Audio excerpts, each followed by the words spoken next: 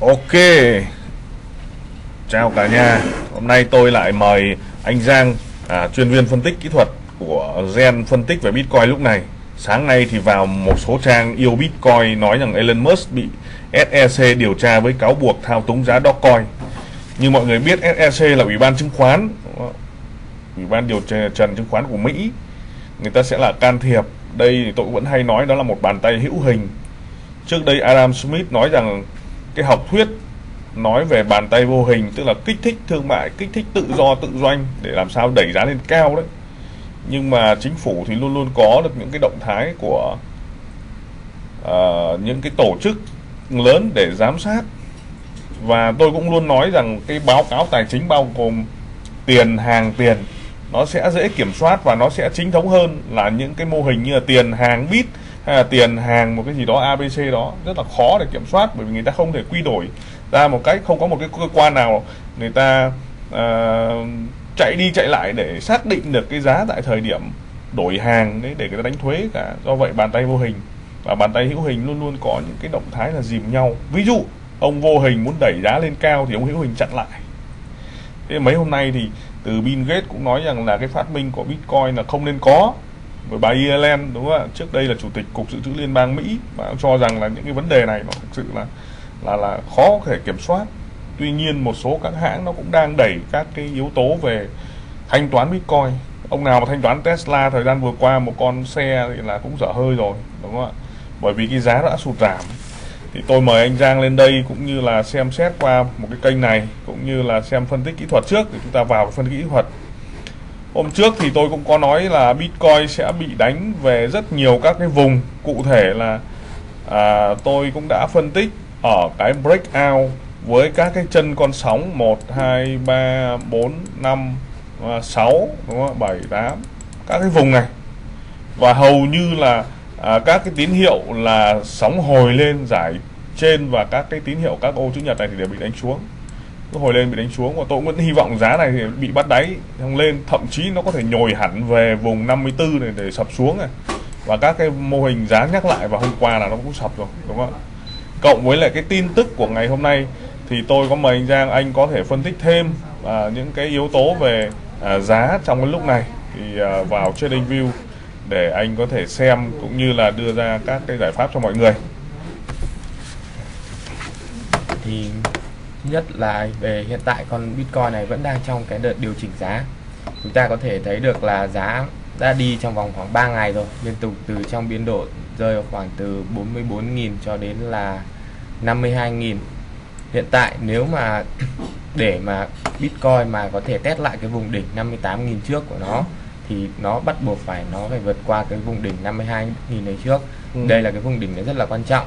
Nhưng mà chúng ta có thể thấy được là hiện tại thì nó vẫn đang lình xình nó đi xoay quay trong cái biên độ này chứng tỏ ừ. là cái lực lên của nó nó rất là yếu và hiện tại thì vào ngày hai hai ba hôm trước rồi ừ. và khoảng thì hai ba hôm trước thì Bitcoin đã test lại cái vùng đáy cũ này là cái vùng 44.900 này đây. Nhưng mà cái vùng hỗ trợ này vẫn chưa đủ lực để đẩy giá đi qua cái vùng 52.000 ừ. cho nên là tôi sẽ thiên hướng về cái kịch bản là Bitcoin sẽ tiếp tục điều chỉnh về cái vùng giá 42.000 41.800 ừ. đỉnh Đ trước đây hả? Đỉnh Rồi. trước đây hả? Đúng rồi. Thì đây là cái vùng đỉnh trước này. Thì khi mà nó bị phá vỡ ra thì nó sẽ đóng vai trò là hỗ trợ. Cái đường này sẽ là đường khá hỗ trợ rất là mạnh. Thì tôi kỳ vọng là giá sẽ chỉ điều chỉnh về đến cái vùng này và 41 nữa và, và vùng 41 chấm à, 41.600 này và đẩy giá đi lên đủ lực để đẩy giá đi lên. Mấy hôm trước thì ờ, cái tỷ lệ rút chân trong H4 rất mạnh. Trả bởi cây nến đỏ thì sẽ xuất hiện những cây nến trắng đi lên. Bây giờ trong H4 có hai cây nến đã đổ xuống đúng không ạ? Và cái lực của cây nến à, xanh tiếp theo nó chưa ăn quá 2 phần 3 của cây nến trước. Vậy cây nến này thông thường các mô hình của bóng nến và hình nến thì cây này nó sẽ trả một cây nến đi xuống. Tôi vẫn mong muốn nó test ở vùng 49 vậy thì chúng ta kỳ vọng ở vùng 41 nó đánh thủng hay là mình sẽ bắt đáy ở đó? Mình sẽ kỳ vọng mình mình sẽ bắt đáy ở cái vùng 41 này. Ừ. đây là vùng hỗ trợ cũng là tương đối. Thì khi mà giá đã đạt đến cái vùng 40 41.800 này rồi và giá đã giảm xuống điều chỉnh xuống và đã phá lên. Vào đây chúng ta có thể nhìn thấy đây phá lên bằng một cây nến này lực nến rất là mạnh. Ừ thì cái vùng này sẽ rất là quan trọng đối với Bitcoin. Và tôi hy vọng là mình sẽ có thể bắt đáy được ở đây. Ừ. Ok. Về cơ bản ấy chúng ta sẽ thấy được cái mốc đánh xuống nó sẽ phải thắng được ở các vùng thứ nhất là 45022 thứ hai là vùng 41914 uh, à, và các cái sóng của Jay chúng ta sẽ thấy được test các mốc đỉnh đúng không ạ? Và mức này rất là vững chắc nó là đỉnh đầu tiên của cái việc à, đi xuống. Tuy nhiên với cái phân tích kỹ thuật như thế này cộng với lại các cái tin tức mà chúng ta gen đưa ra các cái phân tích về à, vấn đề Elon Musk cũng như là các cái à, tổ chức cũng như là các cái à, vị quan chức của Mỹ bắt đầu xem xét khi mà mốc giá của Bitcoin quá cao thuế sẽ phải xem xét các yếu tố, các dự luật, các đạo luật, tất cả mọi cái nó liên quan đến để kiểm soát Bitcoin, tránh cho cái việc rửa tiền hay là những cái việc xấu.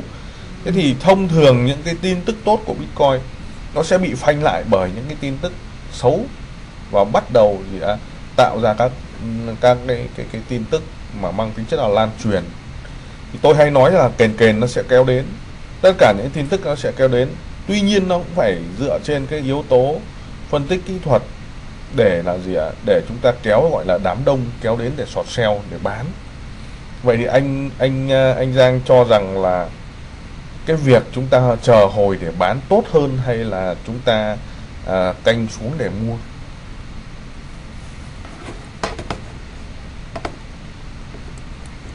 Như tôi đã nói thì những cái tin tức bây giờ ra nó sẽ chỉ là hỗ trợ một cái phần nào đấy ừ. để cho Bitcoin điều chỉnh giá xuống để họ tạo Để ra mua được. đúng không? rồi. Để tạo ra được những cái mức giá thấp hơn đẹp hơn để mua. Do đó thì tôi vẫn thiên về kịch bản là chúng ta sẽ chờ xuống vùng 41.000 này để canh mua lên thì nó sẽ đẹp hơn. Ừ.